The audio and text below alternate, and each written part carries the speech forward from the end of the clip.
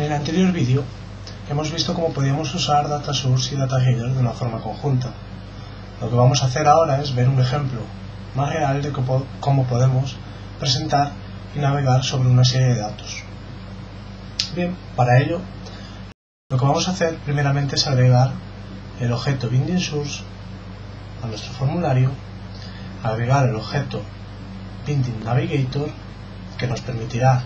pues navegar por una fuente de datos y agregar un objeto DataGridView. Bien, colocamos este objeto DataGridView, le decimos que no permita o que no habilite opciones de agregar, editar o eliminar elementos de esa fuente de datos y vamos a ver el ejemplo que nos va a permitir pues, eh, navegar y ver los datos de una fuente de datos. Bien, igual que, eh, que teníamos en anteriores lecciones, creamos una nueva conexión,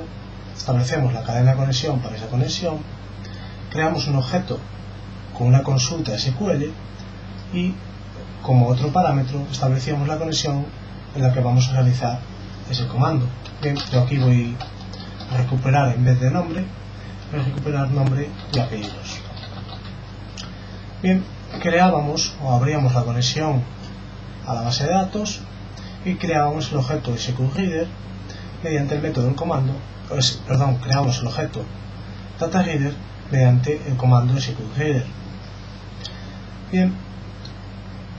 cargábamos la tabla mediante el método load que tomaba como parámetros el objeto DataReader y una especificación de cómo queríamos cargar esos datos y lo que vamos a hacer ahora es pues usar esa tabla como fuente de datos para el binding source. Bien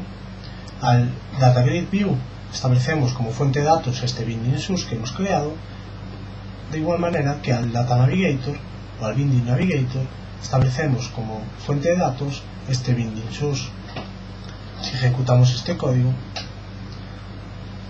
podemos ver que Microsoft Visual C 2005 Express nos habilita